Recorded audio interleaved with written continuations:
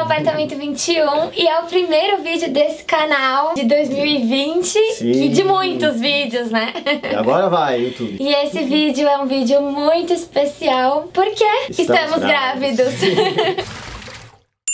Quem acompanha a gente lá no nosso Instagram, que é o arroba pto.21, soube dessa informação um pouquinho antes. Sim. Mas a gente resolveu, já que a gente vai retomar o YouTube esse ano, a gente resolveu começar com esse vídeo. Contar também pra vocês um pouquinho, resumir como foi a nossa descoberta, né? Os- O, primeiro tração Sim. e tudo. Assim, acho que desde o começo, a gente já tá junto há mais de 10 anos. Desde o começo, quando o namoro ficou mais sério, a gente já falava de ter filho. Já, já falou, poxa, vamos querer ter filho. O que, que você acha de adotar também? Já, já conversou sobre isso. Aliás, vamos ter um vídeo depois sobre nomes. A gente já tinha um nome pra É. menina desde 2008. É verdade. 10 anos, mais de 11 anos atrás. né? e aí, só que com toda a correria, a gente tava com a firma 21, blog, a gente já tava com o planejamento de retomar aqui o YouTube. A gente Tava com a produtora de produtora vídeo de vídeo. Então, esse ano que passou foi assim um turbilhão, a gente tinha um monte de coisa pra pensar, pra planejar. Bebê mesmo, a gente tava pensando em, em tentar, em se planejar, talvez no final desse ano, início do próximo. Inclusive, a gente já tinha feito até uma lista, né, É. de coisas que a gente precisava fazer antes disso. Mas aconteceu. Como dizem, quando tem que vir, tem que vir. É, isso a gente ouviu de um monte de gente. Ah, na hora que é pra vir, vem. Por um lado foi muito bom porque não teve aquela agonia, né, de ficar Sim, ficar tentando. esperando. É, eu imagino assim, quem às vezes fica tentando, né, por muitos Sim. anos, enfim, tinha que ser, Tinha que né? ser. Tinha que ser. Foi uma surpresa muito boa. Como a gente descobriu? Bom, eu sempre fui uma pessoa muito ativa, durmo tarde, faço milhões de coisas ao mesmo tempo. Comecei a sentir que eu tava muito dispersa, muito sem foco, muito cansada, com uma indisposição estranha, sabe? Tanto é que teve um dia que eu tava brincando com o Bruce lá no tapete da casa dos meus pais e eu simplesmente apaguei ali no chão do tapete.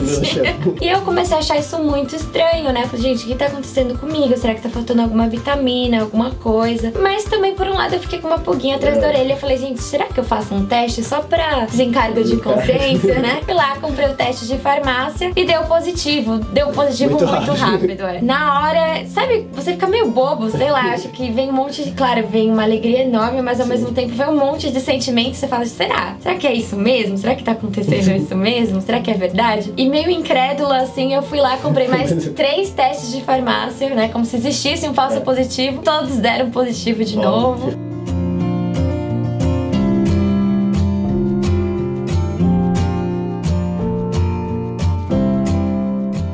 E aí eu acho que, falando um pouco, né, do que a gente sentiu logo que a gente descobriu, eu acho que foi isso. É um misto de É. sentimento, né? A gente às vezes acha que é, só vem aquela felicidade, é uma felicidade. Sim. Sim, é uma felicidade, mas é uma felicidade meio estranha e acompanhada, eu acho que, diversos outros sentimentos. É, eu né? acho que bate um, um susto bom, vai. Se, tem essa palavra de susto, mas eu acho que é um susto bom. A É, vem um pouquinho. assim, é, eu acho que vem, claro, um pouquinho de medo, Sim, de apreensão. A claro. gente quer que dê tudo certo, né? A gente às vezes fica pensando como a gente poderia ter se preparado mais, mas é como dizem, né? Eu acho que se a gente também ficar sempre esperando a hora certa, É. a hora certa, redondinha, perfeita, não existe. A verdade é essa, né? É, existe a hora que tem que ser.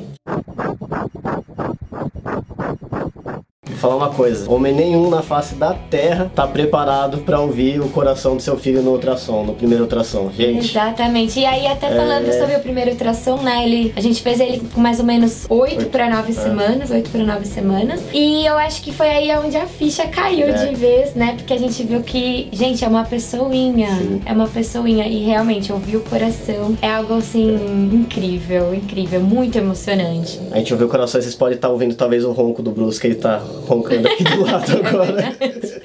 O Brucinho tá roncando. Ah, inclusive, né, até falando um pouquinho do Brucinho. Eu acho que o Brucinho sabia É. antes de- da gente, Eu assim. acho que sim. Porque ele tava me vigiando muito, me acompanhando muito. E ele começou a fazer um negócio que ele nunca fazia antes, né? Sim. Ele fica deitado na minha barriga por horas, gente. Sim. Por horas, como se estivesse. Bem dormindo assim na barriga. É, como se estivesse ouvindo alguma coisa, não sei, tipo, ele fica lá por horas e ele não fazia isso antes. Sim.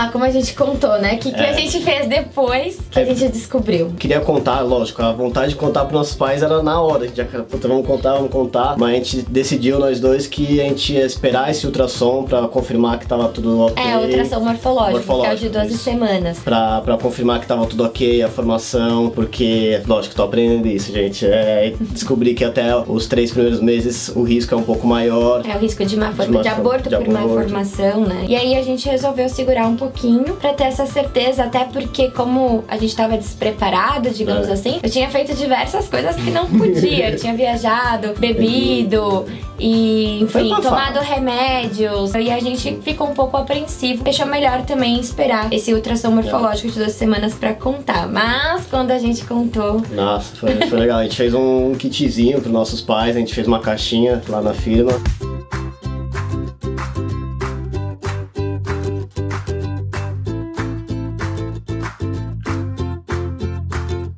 E a gente resolveu fazer um almoço de final de ano aqui em casa, assim, com uma desculpa de, de uma pré-ceia, não sei, alguma coisa assim, pra, pra conseguir chamar eles aqui pra É, ter um porque almoço. como normalmente as nossas famílias passam separadas, normalmente no final do ano a Sim. gente sempre tenta fazer aqui um encontro aqui em casa. E a gente entregou esse presente de Natal pros nossos É. pais, que tiveram uma reação muito legal.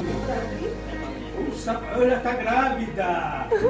Ela tá grávida! Ah!